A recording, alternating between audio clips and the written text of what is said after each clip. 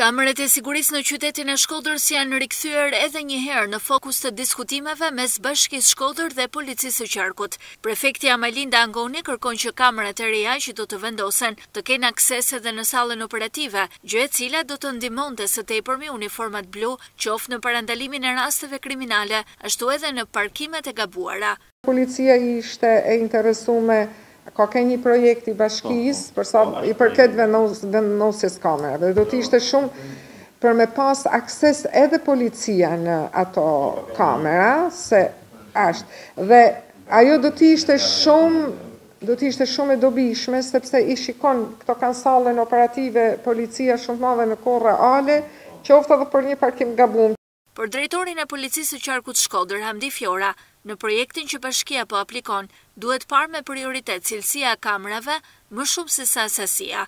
Ndërsa, nënkryetari i bashkisë, Ardit Çylybyli, propozon që të ulen në tryezë përfaqësues të uniformave blu dhe policisë bashkiake, në mënyrë që kamerat e reja të jenë më efikase në qëllimin e përbashkët për sigurinë në qytet.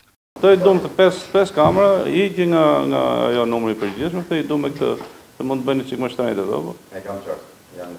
Ma, ma mirë, ma pak se sa. Janë, mund të bëjmë edhe një, mund të bësh, mund të bësh edhe një takim për bosh, edhe me të që kanë me vu kamerët, mund të marrim edhe një drejt, po, po, po policia shtetit që bini dhe kur të tre bosh. Bashkia Shkodër ka implementuar një projekt dhe disa vite më parë në vendosjen e kamerave të sigurisë në kryqëzimet kryesore të qytetit, por pa efikasitet. Pritet që projekti i radhës me një fond prej pesëdhjetë milionë lekësh të aplikohet në mënyrë cilësore, duke pajisur me kamera pikat kyçe të qytetit.